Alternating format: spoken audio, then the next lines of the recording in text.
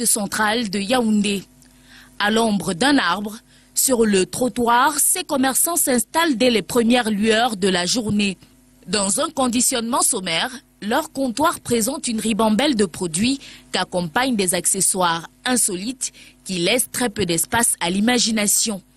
Pour ces docteurs de rue, pas besoin d'ordonnance ou de connaissances médicales. On fait confiance à la nature. Objectif, booster sa libido, être nas au lit. Il y a le ginseng, qui aussi, il y a une, une aphrodisiaque. Il y a le, le, on appelle quoi? Le kene, qui est aussi une aphrodisiaque.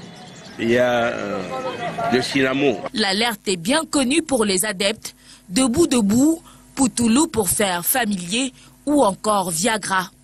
Au bout de notre micro pourtant, la simple évocation de ces produits provoque un malaise. Nombreux disent ignorer l'existence de ces substances à caractère libidineux.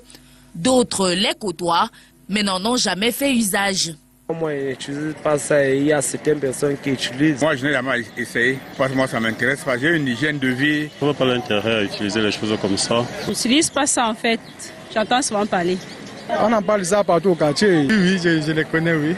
Pas ça? Non. Hors caméra, nous avons discuté avec des adeptes qui ne cachent pas leur attachement pour ces substances au revers dangereux, selon ce médecin. Conséquences cardiaques chez les malades qui vont faire ce qu'on appelle des infarctus du myocarde, qui par définition est euh, l'arrêt de la vascularisation du cœur par carence d'oxygène. Il y a l'accident vasculaire cérébral. Donc, vous avez des patients qui peuvent donc aussi faire ce qu'on appelle des hémorragies méningées, des hémorragies cataclysmiques dans la boîte crânienne, des ruptures d'anévrisme. Il y a d'autres conséquences qui sont moins graves, comme le priapisme, donc euh, des érections qui, qui, qui deviennent très douloureuses, qui persistent. Comme quoi, la recherche de la satisfaction